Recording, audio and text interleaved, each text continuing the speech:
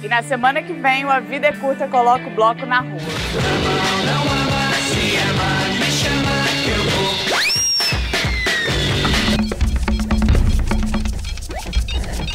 Pra saber que não é qualquer morador de rua que é zoento, bagunceiro,